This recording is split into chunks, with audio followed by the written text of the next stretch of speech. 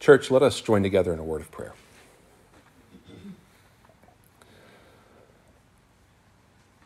Almighty God and gracious Heavenly Father, we come before you this morning with the peace that only you can give through your word and through your sacrament.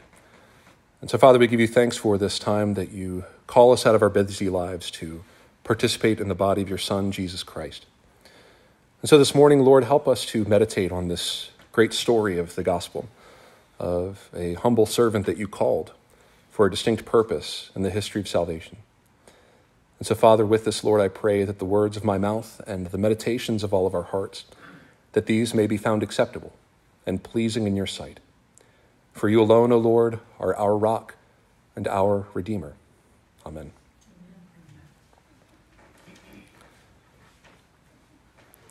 Blessed are you among women, and blessed is the fruit of your womb.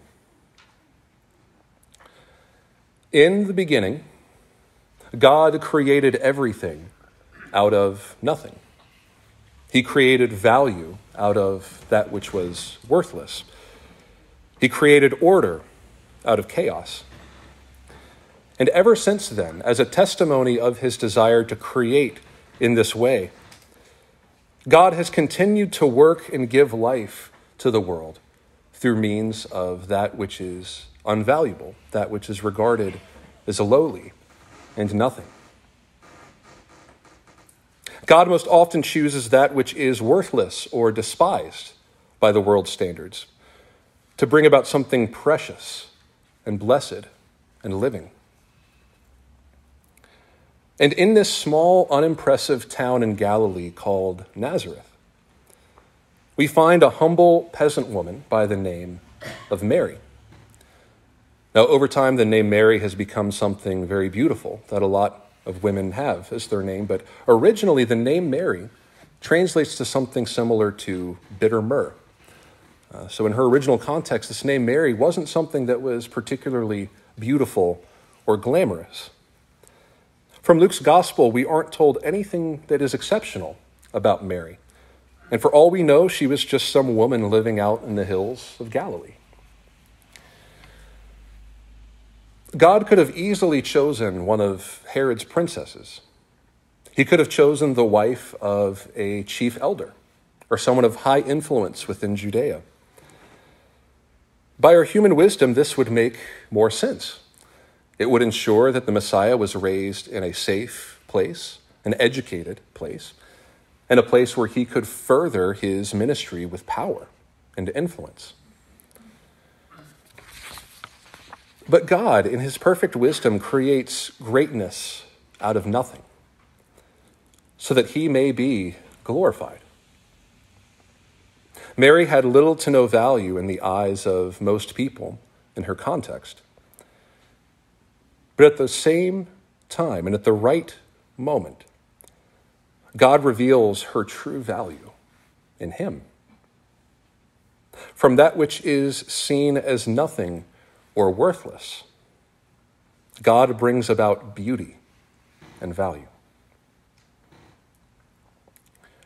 This morning, we hear Mary declare, From now on, all generations will call me blessed. And from this declaration, it has been in keeping with the Lutheran tradition to grant title, the title, the Blessed Virgin Mary, to the person of Mary. Not out of any man made honor on her own, but by this declaration made once and for all in Holy Scripture, and by her virginity when she conceived the Son of God, the Blessed Virgin Mary. But humbly, as well as I believe I know American Christians, I suspect that even giving this title, Blessed Virgin Mary, may not sit well with some of us. I'm not pointing this out to condemn anyone's discomfort because I once too was not comfortable with giving Mary any kind of positive recognition. It's understandably common for American Christians to have this strong reaction against the Blessed Virgin Mary.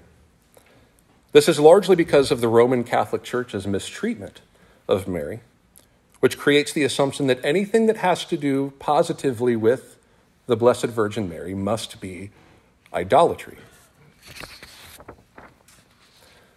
But I find that because of this assumption, a lot of Christians have gone in the opposite direction and take a reactive stance against the mother of our Lord, which tends to downplay her role in salvation history.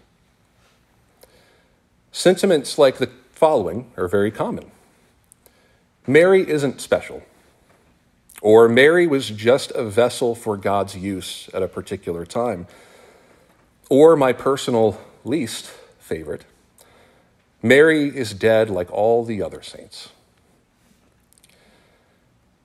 These sentiments are all too common in the American church today, and none of them reflect a biblical understanding of the person of Mary that we find in our gospel reading this morning.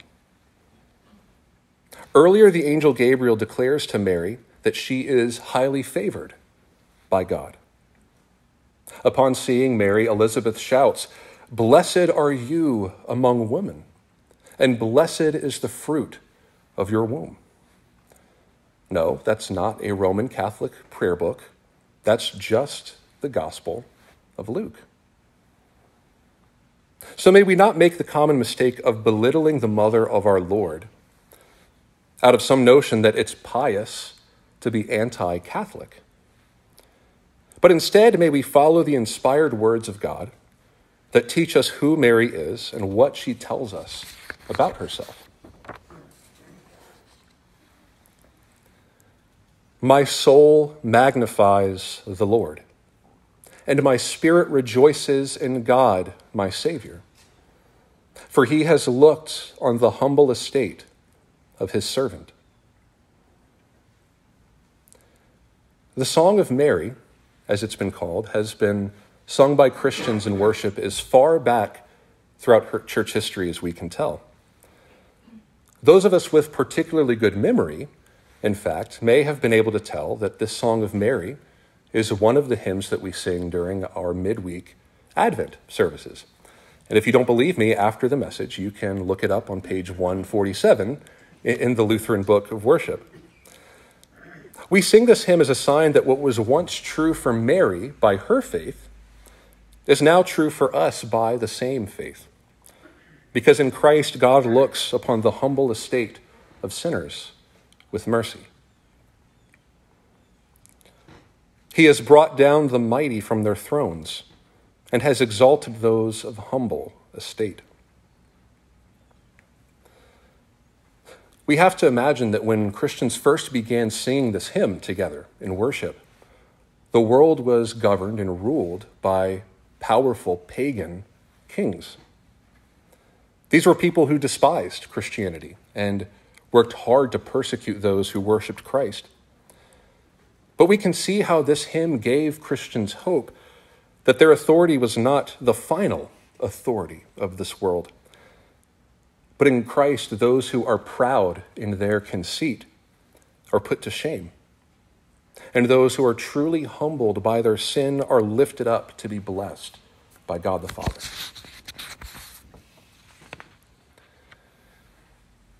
The mighty Roman rulers eventually did fall from their thrones when the gospel became too powerful for Rome to deny any longer. And to this day, we sing the Song of Mary to remember that the corrupt rulers of this age, who neglect the poor, who persecute what is true,